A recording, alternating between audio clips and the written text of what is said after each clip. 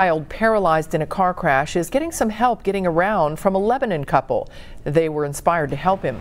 Five months ago, we told you about Steve and Fiona Shaw's efforts to help Aidan Bishop.